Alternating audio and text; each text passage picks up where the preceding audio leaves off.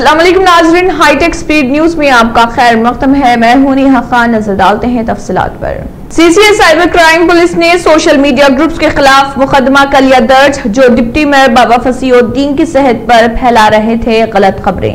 इज़्ज़त के नाम पर घर वालों ने हामिला बेटी को कर दिया हलाक। तेलंगाना के गदवाल में अफसोसनाक वाकया।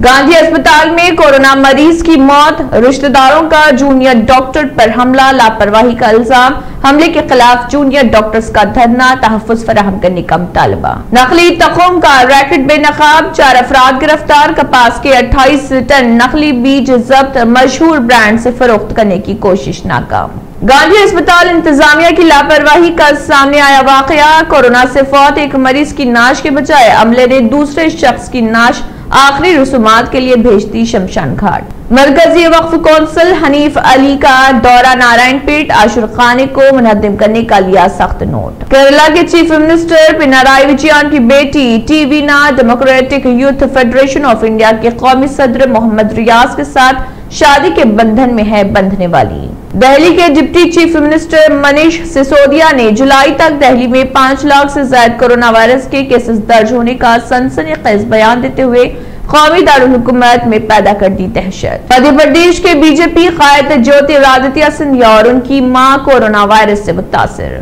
आज़म खान और अखिलियतों पर से वापस हो झूठे मुकदमात ऑल इंडिया मिनोरिटीज फ्रंट के कौमी सदर एस एम आसिफ। गांधी अस्पताल में 310 से ज़्यादा कोरोना के मरीजों को, जिन्हें पिछले तीन दिन से बुखार नहीं हुआ था, दवाखाने से घर रवाना कर दिया गया, क्योंकि उन्हें घर में करंतना की मुद्दत गुजारने की सहूलत मौजूद। लॉकडाउन ने बहरान का सामना कर रहे पार्ले जी बिस्किट को बख्शी नई ज़िंदगी। साल 1938 में कायम पार्ले कंपनी के ज़रिए तैयार बिस्किट पार्ले जी की खरीद में कोरोना बहरान के दौरान इजाफा होने की वजह यह है कि लॉकडाउन से नबर्द आजमा लोगों ने बड़े पैमाने पर किया इसका इस्तेमाल। जून का महीना हिंदुस्तान के लिए खतरनाक साबित हो रहा और गुजशत 24 घंटे में एक बार फिर तकरीबन दस हज़ार कोरोना इन्फेक्शन के नए मामले आए सामने।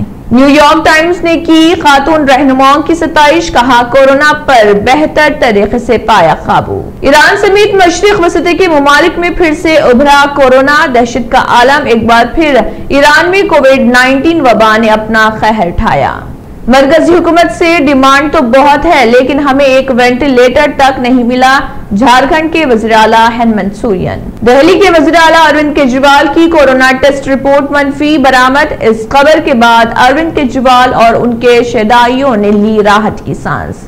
यूपी हुकूमत को अनामिका शुक्ला टीचर के घर जाकर पूरी फैमिली से माफ़ी मांगनी चाहिए Congress general secretary Priyanka Gandhi. Corona की अलामत सबब, हरियाणा के गुरुग्राम में मैदानता अस्पताल में 28 मई से दाखिल भारतीय जनता पार्टी के तर्जुमान समित पात्रा को अस्पताल से मिल गई छुट्टी। इसी के साथ हाईटेक स्पीड न्यूज़ अख्ताम को पहुँचता है। दीजिए इजाज़त, अल्लाह हाफिज।